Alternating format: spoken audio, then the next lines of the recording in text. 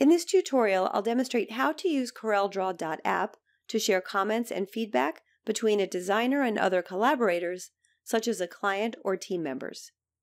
Before we get started, if you're watching this video on YouTube, you'll find a link in the description below that will take you to our tutorial page on Corel's Discovery Center.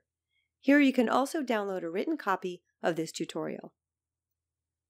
In this example, I'm using the desktop version of CorelDRAW, and I have a proposed shirt design that I'm ready to share with my client. In the Comments Inspector, I'm logged in as Joe, and I've already placed two comments in the document marked by these two arrows. I can see the comment text when hovering over the arrow, and each identifies the font. I want to ask my client which font is preferred. So I'll click the Note tool, place the note in the background, and type my question. I'm now ready for feedback from my client and other team members. First, I'll save the file to my computer. My reviewers don't need CorelDRAW Desktop because they can access my file through CorelDRAW.app in order to leave feedback. To save this document to Corel Cloud, I can choose File, Save to Corel Cloud, or click the Save and Share icon in the Comments Inspector. I'll keep the same file name and click Save and Share. This opens the file in CorelDRAW.app, where the first step is Collaboration Settings. For those who will be receiving the link to this file, I need to set their access privileges. This file is going out for review, and I want people to be able to make comments. So for everybody with the link, Reviewer is the correct access level in this case. The URL for the file is listed here with a copy button. I can manually distribute this URL to reviewers, or I can enter a reviewer's email so that they will be sent an email containing the link to the file.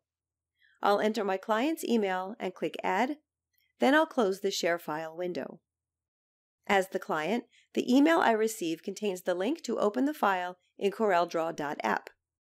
After clicking the link, the file opens in CorelDRAW.app in my browser, and I can see the comments left by the designer in the Comments panel. Hovering over an arrow or note marker highlights the note in the panel. I'll click the note and enter my reply. I can hover over the two font comments and resolve them.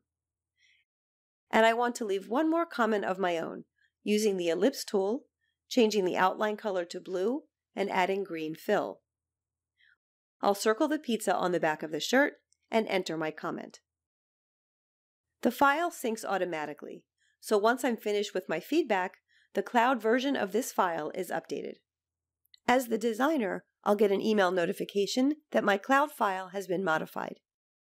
Back in CorelDRAW Desktop, I can get the file with client comments by choosing File, Open from Corel Cloud.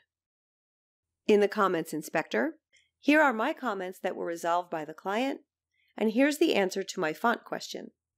And I see the client's new comment, which I can address in the next round of edits.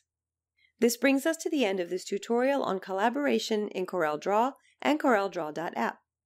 If you've been watching this video on YouTube, you'll find a link in the description below that will take you to our tutorial page on Corel's Discovery Center.